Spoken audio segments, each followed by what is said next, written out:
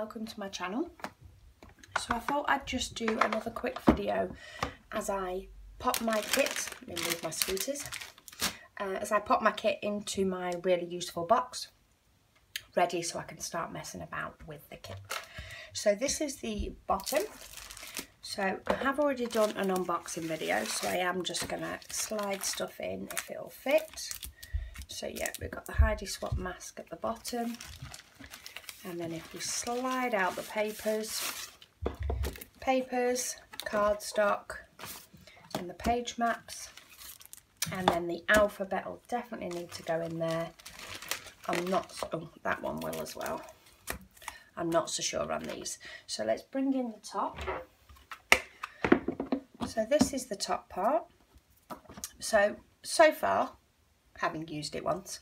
Uh, this is where I normally like to have my die cuts so that I can have a little bit of a rummage round and I've got the space to mess about. So that's if any die cuts come with the kit, which they have.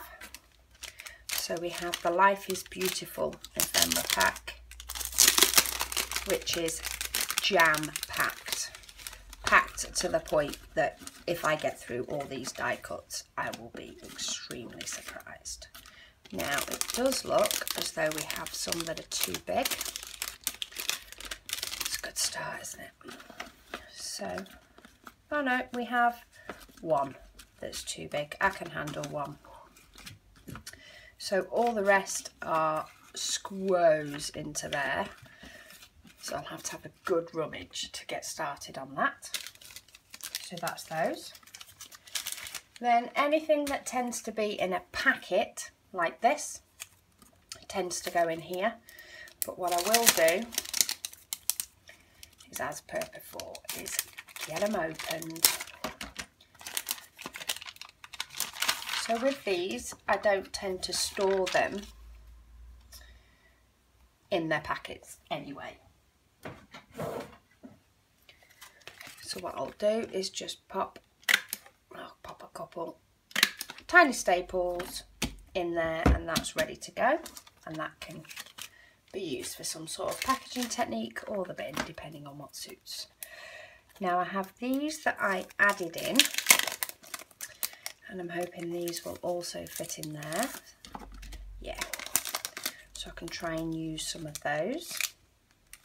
Now these may or may not go back into the packet um, just for storage wise I'm unsure yet. So for now all packaging I pop into just a baggie just to keep it together while I'm working on the kit and if I want it it's there. And then I added the craft market and I added those stickers.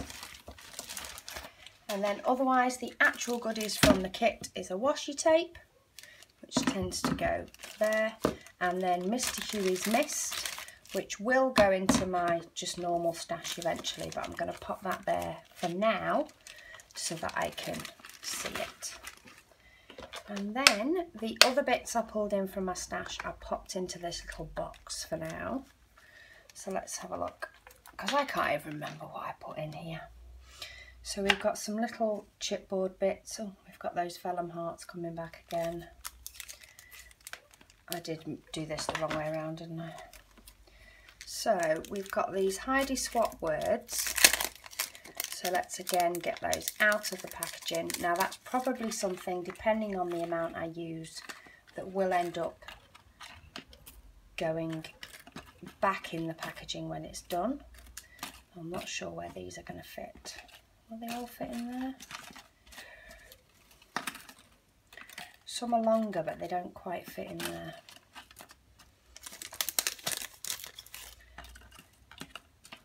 Okay, so we've got two that don't really fit. So yeah, they are going to float about, but at least I'll know that I've got them. And then we have some little word stickers we got from Simple Stories sticker sheet. There's quite a few different sticker sheets I pulled out for this one. And then little word stickers, and then we've got more chipboard. And then this is a Studio Calico chipboard sheet. Now, this more than likely, once I've used a couple of bits, will go into my black and white box. So I'm just going to crack it open now. because then it's not so new and I'll use it. So we've now got a chipboard section with all different, mainly black and white at the moment, chipboard or dimensional bits. Then we'll have somewhere for stickery bits, a couple more sheets of stickers there. And we've got, let's go for die cuts or that chipboard. Chipboard, there's quite a lot of chipboard. Die cuts other.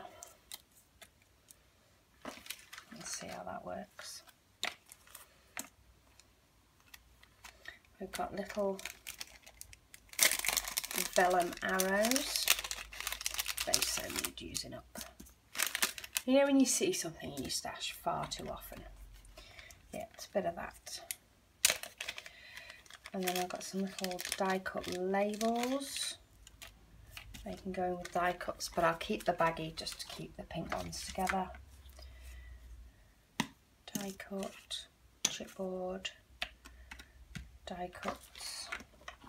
So this last little bits now. So these long bits can go in here with the enamel dots that I've pulled out. Some chipboard and other.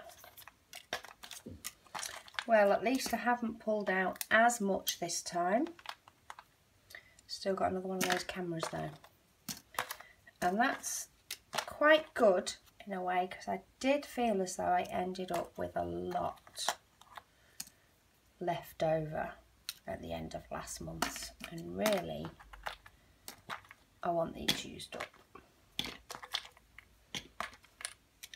Die cuts, chipboard, puffy, Ooh. random chevron. That'll be going if it doesn't get used. There we go. So yeah, there does seem to be quite a few less yeah, there does seem to be less in here this month. I think I've picked out a more reasonable amount. And then we've got the little lemons from Studio Calico, which I think are cute. No, I have no idea what they're going with, but I think they're cute. So there we go. So there is my kit ready for this month. And actually all I have in the bottom is alphabets, which is a lot easier when it comes to actually using it. We have an abundance of die cuts this time, so I can't wait to get playing. And of course, we've got mist and this gorgeous washi. So I hope you'll join me when I get creating with this kit. And I'd love to see how you use yours. And indeed, if you find these really useful boxes really useful, um, let me know. Let me know what you use yours for, um, whether you have a different way of sorting it out, because I'm always open for new ideas so I can organise better and I'll speak to you all soon.